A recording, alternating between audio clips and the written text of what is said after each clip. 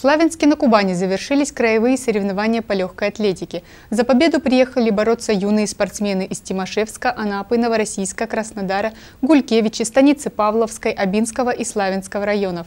Для некоторых ребят это были первые серьезные соревнования в их жизни. С подробностями мои коллеги.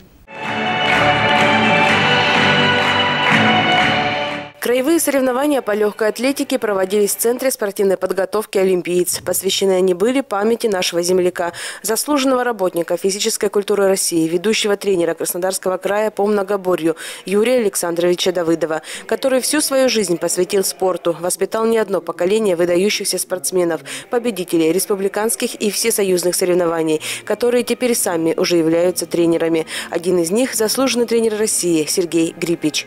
Участников соревнований по поприветствовал начальник управления по физической культуре и спорту Славянского района Александр Прищепа. Легкая атлетика и Давыдов, это, по-моему, Славянская Брусела. Юрий Александрович очень много сделал для этого вида спорта. Сегодня также в этом манеже, а манеже так носит имя Юрия Александровича Давыдова, это тоже не случайно. И то, что здесь работают тренера, которые многие начинали у него познавать разные легкая атлетика.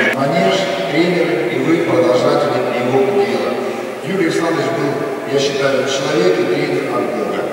Человек, который очень много сделал для развития легкой атлетики Соревнования памяти Юрия Александровича Давыдова в нашем районе проводятся уже четвертый год подряд. Число участников каждый раз растет. В этом году побороться за победу приехали спортсмены из восьми муниципальных образований Краснодарского края. Всего 67 человек. Очень хороший стадион, с расписанием все сходится. Ну, в общем, мне нравятся такие соревнования, особенно в Славянске, самый лучший манеж, мне кажется, в Краснодарском крае. Соревнования проходили по семиборью и шестиборью у мужчин. Это прыжки в длину, толкание ядра, прыжки в высоту, бег на 60 метров, 1000 метров, бег с барьерами и прыжки с шестом. У женщин было пятиборье. Команду Славянского района представляли воспитанники детско-юношеских спортивных школ имени Владимира Симоненко и школы номер один имени Станислава Шевченко. К соревнованиям я упорно готовилась и надеюсь, что сегодня покажу хороший результат. Бег с барьерами я э, пробежала хорошо, и высоту я прыгнула лучше, чем в прошлые разы. По итогам соревнований в копилке славянских спортсменов три награды.